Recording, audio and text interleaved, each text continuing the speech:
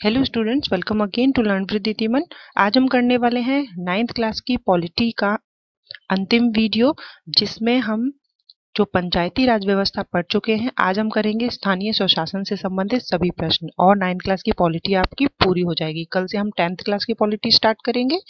तो देखिए आप वीडियो जो है, ना ही शेयर करते हैं और ना ही वीडियो पूरा देखते हैं तो ये सभी मुझे पता चल जाता है। तो प्लीज़ वीडियो को स्टार्टिंग से एंड तक देखिए। आपको इसकी अहमियत अभी नहीं पता लग रही है, लेकिन एग्ज़ाम टाइम में आपको ना पछताना पड़े, इसीलिए मैं आपसे बार बार कहती हूँ, वीडियो को अच्छे से देखिए यदि आपको एग्ज़ाम क्रैक करना है। चलिए स्टार्ट करते हैं। क्वेश्चन वन है, नगर निगम का कार्यकाल कितना होता है? तो आज हम नगरीय स्वशासन के बारे में पढ़ेंगे, जिसमें हम इसे तीन भागों में बांटते हैं नगर पालिका नगर परिषद और नगर निगम। एक लाख से कम जनसंख्या वाले नगरीय क्षेत्र को नगर पालिका कहते हैं। उसके बाद एक लाख से पाँच लाख तक की जनसंख्या वाले को नगर परिषद कहते हैं और पाँच लाख से जो अवब होती है, उसे हम कहते हैं नगर निगम। नगर निगम का कार्यकाल कितना होता है? नगर निगम का कार्यकाल कितना होता है? इसका सही आंसर है पाँच वर्ष। नेक्स्ट है क्वेश्चन नंबर टू चौहत्तरवें संविधान संशोधन के अनुरूप जिन नगरीय क्षेत्रों में पाँच लाख से अधिक जनसंख्या हो, उसे क्या कहेंगे? देखिए, चौहत्तरवें संविधान संशोधन, जिसमें नगरीय स्वशासन को जोड़ा गया, तिहत्तरवें संविधान संशोधन में ग्रामीण स्वशासन को जोड़ा गया। तो यहाँ चौहत्तरवें संविधान संशोधन के अनुरूप जिन नगरीय क्षेत्रों में पाँच लाख से अधिक जनसंख्या हो, उसे क्या कहेंगे? उसे कहेंगे नगर निगम। क्वेश्चन थ्री नगर निगम के अध्यक्ष और उपाध्यक्ष को क्या कहते हैं? नगर निगम के अध्यक्ष और उपाध्यक्ष को क्या कहते हैं? आंसर है, महापौर कहते हैं, नगर निगम के अध्यक्ष को और उप महापौर कहेंगे, नगर निगम के उपाध्यक्ष को। नगर निगम का प्रथम नागरिक कौन होता है? जिस तरीके से देश का प्रथम नागरिक, राष्ट्र का प्रथम नागरिक राष्ट्रपति जी होते हैं, उसी तरीके से नगर के जो प्रथम नागरिक होते हैं, वो महापौर होते हैं, क्योंकि वह क्या होते हैं? नगर निगम के अध्यक्ष। नगर निगम के महापौर की अनुपस्थिति में सभी कार्य संपन्न किसके द्वारा किए जाते हैं? नगर निगम के महापौर की अनुपस्थिति में सभी कार्य किसके द्वारा पूरे किए जाते हैं। आंसर है उप महापौर जिस तरीके से राष्ट्रपति की अनुपस्थिति में उपराष्ट्रपति सभी कार्य संभालते हैं, इसी तरीके से नगर निगम के यदि अध्यक्ष महापौर उपस्थित ना हो तो सभी कार्य कौन संभालेंगे? उप महापौर नगर निगम के कार्यकाल समिति का गठन किसके द्वारा किया जाता है? नगर निगम के कार्यकाल समिति का गठन किसके द्वारा किया जाता है? इसका सही उत्तर है इसका गठन किया जाता है महापौर उप महापौर परिषद में विपक्ष का नेता, परिषद द्वारा निर्वाचित सात सदस्यों द्वारा किया जाता है। इन सात सदस्यों में दो महिलाएँ होती हैं और कार्यकारी पदिन सचिव भी होता है। नगर निगम अपने कार्यों के लिए आय कहाँ से जुटाता है? देखिए, बहुत इंपॉर्टेंट है ये क्वेश्चन क्योंकि यहाँ हम नहीं समझ पाते हैं कि जो नगर निगम है वह अपने कार्यों के लिए आय कहाँ से जुटाता है। तो देखिए वह संपत्ति कर, पशु कर, व्यवसाय कर, मनोरंजन कर, भूमि, भवन के वार्षिक किराया, यहाँ से वह आय जुटाता है और सरकार से निश्चित प्राप्त अनुदान भी प्राप्त करता है। ठीक है? तो नगर निगम अपने कार्यों के लिए जो इनकम है वो कहाँ से जुटाता है? जो भी हम पर संपत्ति कर लगता है, पशु कर लगता है, व्यवसाय कर लगता है, मनोरंजन कर लगता है, भूमि या भवन पर जो भी किराया लगता है और सरकार से निश्चित प्राप्त अनुदान, ठीक है? याद रखिएगा। नेक्स्ट है क्वेश्चन एट जिस नगर क्षेत्र की जनसंख्या पाँच लाख से कम है, वह नगर निगम में आता है या नगर परिषद में? तो बिल्कुल, इसका तो आप झट से आंसर बता ही देंगे कि पाँच लाख से यदि कम है तो वो नगर परिषद के अंतर्गत आएगा। क्वेश्चन नाइन नगर परिषद का अध्यक्ष और उपाध्यक्ष कौन होता है? देखिए, नगर निगम का हमने देखा अध्यक्ष कौन होता है? महापौर होता है, उपाध्यक्ष उप महापौर होता है। अब नगर परिषद का अध्यक्ष होता है, सभापति और उपाध्यक्ष होगा उप सभापति ठीक है? दोनों को मिलाना नहीं है। जब हम बात करेंगे नगर निगम की तो वहाँ पर महापौर अध्यक्ष हैं और उप महापौर उपाध्यक्ष हैं। और नगर परिषद के अध्यक्ष सभापति हैं और उपाध्यक्ष उप सभापति हैं। पार्षद का निर्वाचन कैसे होता है? पार्षद का निर्वाचन कैसे होता है? इसका आंसर है, पार्षद का निर्वाचन प्रत्यक्ष रूप से वयस्क मताधिकार द्वारा गुप्त मतदान से होता है। नेक्स्ट है इलेवन क्या लोकसभा और विधानसभा के सदस्य नगर परिषद के सदस्य होते हैं अथवा नहीं? देखिए, ये क्वेश्चन बहुत इंपॉर्टेंट रहता है, क्योंकि इस तरीके से आपके एग्ज़ाम में पूछ लिए जाते हैं। क्योंकि हम सोचते हैं कि यह तो लोकसभा और विधानसभा का सदस्य नहीं होगा। तो इसका आंसर है यस लोकसभा और विधानसभा के सदस्य जो है, वो नगर परिषद के सदस्य होते हैं। एक लाख से कम जनसंख्या वाले संक्रमणकालीन नगरीय क्षेत्र को क्या कहेंगे? तो देखिए, यहाँ पर एक वर्ड आया है, संक्रमणकालीन नगरीय क्षेत्र। तो आप बिल्कुल परेशान ना हो। हमें देखना क्या है? एक लाख से कम जनसंख्या वाले नगरीय क्षेत्र की बात कर रहे हैं तो हमें पता है कि वह क्या है? नगर पालिका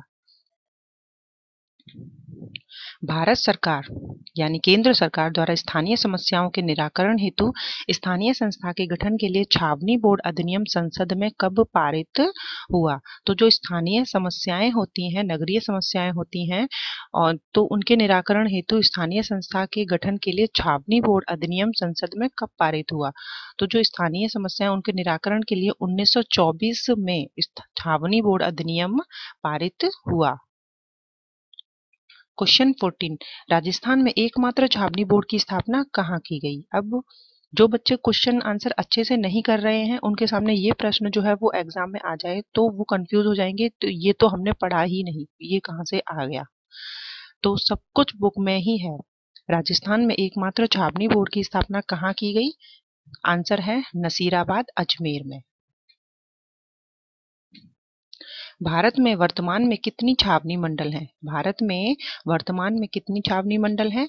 तो इसका आंसर है चौसठ। आंसर कितना है? चौसठ। भारत में वर्तमान में चौसठ छावनी मंडल हैं।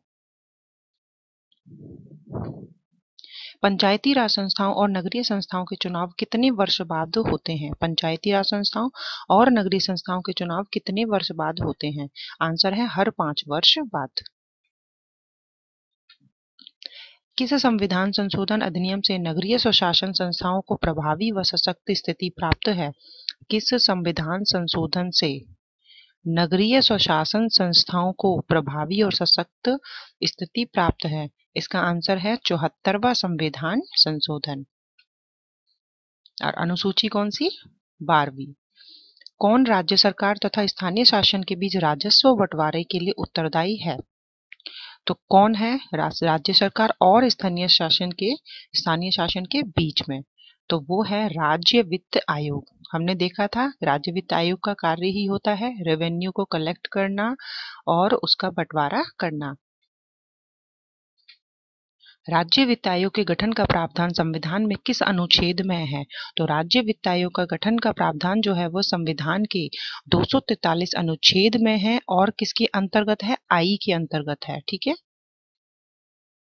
नेक्स्ट है क्वेश्चन ट्वेंटी देश का पहला नगर निगम कहाँ स्थापित हुआ? देखिए, एक बार ये आपके एग्ज़ाम में ये क्वेश्चन आया हुआ है, देश का पहला नगर निगम कहाँ स्थापित हुआ? तो यह हुआ मद्रास में सोलह ईस्वी में। मद्रास में सोलह सौ सत्तासी ईस्वी में पहला नगर निगम स्थापित हुआ। नेक्स्ट है क्वेश्चन ट्वेंटी वन भारत में नगरीय निकायों के ढांचे का स्वरूप कैसा है? तो देखिए, अब ये प्रश्न जो है वो बहुत इंपॉर्टेंट है। क्यों? क्योंकि पंचायती व्यवस्था के अंतर्गत जो ग्रामीण निकाय हैं, उनके ढांचे का स्वरूप हमने देखा लंबवत है। ठीक है? हमने देखा लंबवत है। और नगरीय निकायों के ढांचे का स्वरूप कैसा है? क्षेतिज है। इसे हम इस तरीके से बांटते हैं। क्षैतिज रूप में बांटते हैं, जिसमें सबसे फ़र्स्ट आता है नगर निगम सेकंड आता है नगर परिषद और थर्ड आता है नगर नगर पालिका। लेकिन जब हम ग्रामीण निकायों की बात करते हैं तो हम क्या देखते हैं? किस, देखते हैं कि वह नीचे से ऊपर की तरफ़, यानी लंबवत जाता है। सबसे नीचे आता है, क्या आता है? ग्राम पंचायत, उसके बाद पंचायत समिति और उसके बाद जिला परिषद। भारत में नगर पालिका का कार्यकाल कितना होता है? भारत में नगर पालिका का कार्यकाल देखिए नगर पालिका नगर निगम, नगर परिषद, इनका कार्यकाल पाँच वर्ष का ही होता है। लेकिन अगर ऑप्शन में इस तरीके से आ जाए, प्रथम बैठक की तिथि से पाँच वर्ष तो ये बिल्कुल उपयुक्त आंसर होगा। ठीक है? कार्यकाल कितना होता है? जो प्रथम बैठक होती है, तब से स्टार्ट हो जाता है और पाँच वर्ष तक रहता है। नगर निगम के अध्यक्ष का कार्यकाल कितना होता है? नगर निगम के अध्यक्ष का कार्यकाल कितना होता है? तो नगर निगम अब देखिए, नगर निगम का कार्यकाल नहीं, यहाँ पर अध्यक्ष का कार्यकाल पूछा है। तो अध्यक्ष का कार्यकाल क्या होगा? अध्यक्ष का कार्यकाल होगा कि जिस दिन वो शपथ लेते हैं तो शपथ ग्रहण की तिथि से पाँच वर्ष तक कार्यकाल होता है। इससे पहले के क्वेश्चन में देखिए क्या पूछा गया था? इससे पहले के क्वेश्चन में पूछा गया था कि जो नगर पालिका है, उसका कार्यकाल कितना होता है? ठीक है नगर पालिका क्या है? एक संस्था है, उसका कार्यकाल क्या है? जिस दिन बैठक होती है, उस बैठक से लेकर पाँच वर्ष तक। लेकिन यहाँ क्या है? नगर निगम के अध्यक्ष का कार्यकाल कितना होता है? तो जब वो शपथ ले लेते हैं, उस शपथ ग्रहण तिथि से पाँच वर्ष तक। तो प्रश्नों के जो लैंग्वेज है, उसको समझने की कोशिश कीजिएगा और फिर अपने सही आंसर को लगाइएगा। जिला निर्वाचन अधिकारी के उत्तरदायी का निर्वाहन किसके द्वारा किया जाता है? जिला निर्वाचन अधिकारी के उत्तरदायित्व का निर्वाहन किसके द्वारा किया जाता है? इसका आंसर है जिला कलेक्टर द्वारा। ठीक है, ये आपका अंतिम प्रश्न था और आज आपकी नाइन्थ क्लास की पॉलिटी पूरी होती है। इसी तरीके से टेंथ क्लास की करेंगे। देखिए जोग्राफी जो है, वो भी आपकी स्टार्ट होगी, लेकिन इतनी जल्दी से वीडियो जो है, वो नहीं बन पाते हैं। इसी वजह से सर ने अभी थोड़ा सा ब्रेक लिया हुआ है। जैसे ही पॉलिटी पूरी होती है जोग्राफी जो है, वो आपकी स्टार्ट हो जाएगी। दिसंबर के एंडिंग तक आपकी जो पूरी एसएसटी है वो कंप्लीट हो जाएगी। इसी तरीके से टेंथ क्लास के फ़र्स्ट चैप्टर के साथ। Thank you